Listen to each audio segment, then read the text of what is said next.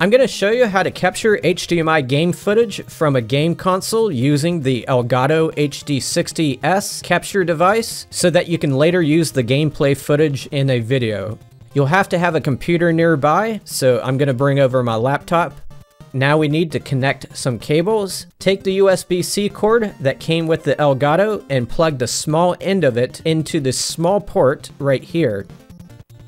This next part is where a lot of people go wrong. Plug the other end of that USB cord into a USB 3.0 or above port. The device will not work properly if it's not at least 3.0. If you see any that are blue, those are definitely 3.0 or above. But a lot of newer computers will not use that color coding. You'll just have to check the specs of your computer. One way to do that is to go to Device Manager and then go to Universal Serial Bus Controllers and if you see any that are marked 3.0 in that section, you have them. I'll also mention that if you don't have the original USB cable that came with the Elgato, you'll have to get one that is rated at least 10 gigabytes per second. It cannot be a simple charging cord. Next, take the HDMI cord that's coming from the game console and put it into the in port on the Elgato, which is right next to where you plugged in the USB cord.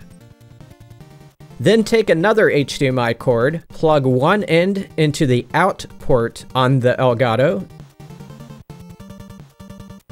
and the other end into one of the HDMI inputs on the back of the TV. Then make sure that input is selected through the TV interface turn on the computer and the game system, the footage from the game should appear on the TV. Right now it's just passing through the Elgato, but you can't record it yet, because you have to have some software on your computer to do it. There's many that are compatible with the Elgato, including what you see here, which is the 4K capture utility, which is available for free on the Elgato website but I recommend you skip that and use OBS instead, which I'll be using for the rest of this video. That one's free as well, and you can just get it directly off the internet. So get OBS installed and running. You may or may not see footage of the game already showing up on the screen. On the computer screen, I mean. If it isn't there, you need to go down to this area and make sure one of the rows says video capture device. To add it, click the plus symbol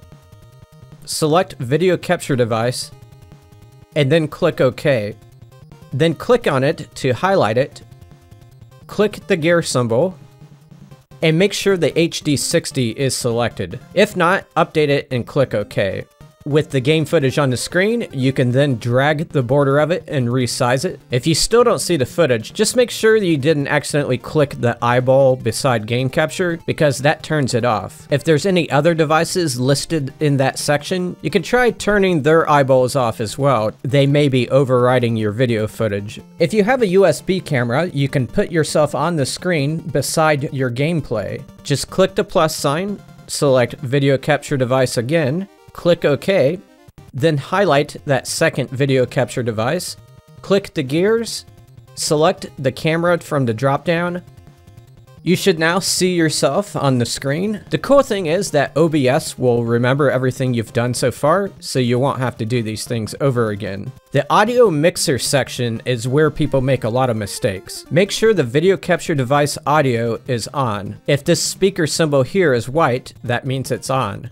You can also use the slider to adjust the volume coming from the game.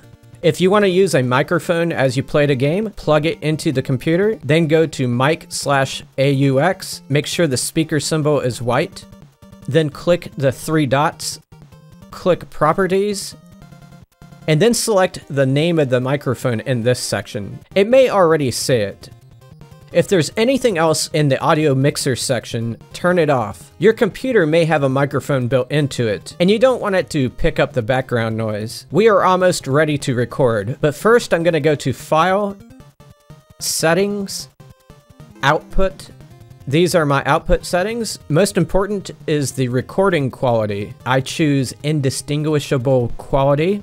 I tried the next level up, which is lossless quality, but my computer could not handle it because the file sizes were too big. Another important field on this page is the recording path. This is where your files are going to land once you're done recording, so set this to wherever you want them to go. For recording format, I choose MP4. It does give me a warning saying if I choose MP4, the file may become corrupted. I do short recordings, so for me it's not that much of a risk. If I lose something, I just re-record it. But if you don't want to risk it, choose MKV as your file type. But then after recording, you have to do an extra step. If you choose MKV, you have to go to File, Remux Recordings, and then proceed with converting the file to an MP4. Another set of important settings is the video section. I have it set to 3840 by 2160 with 60 frames per second. This is sufficient for the modern consoles I record, but if you're recording from an older game system, you can lower some of these numbers. I suggest you research the game and the system you wish to record and try to match what the output of that is. If you're gonna later edit your video, be sure to render it at the same setting as you recorded it at. So if you recorded at 60 frames per second, make sure you render the video at 60 frames per second.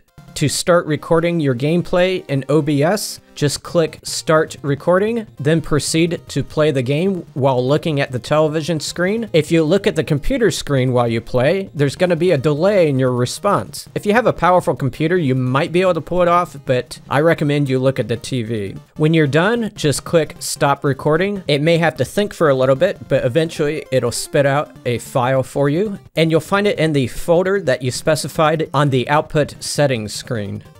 That's all I had today. If you have any tips to add in regards to capturing HDMI footage, go ahead and leave them in the comments below. Have a good day, everybody.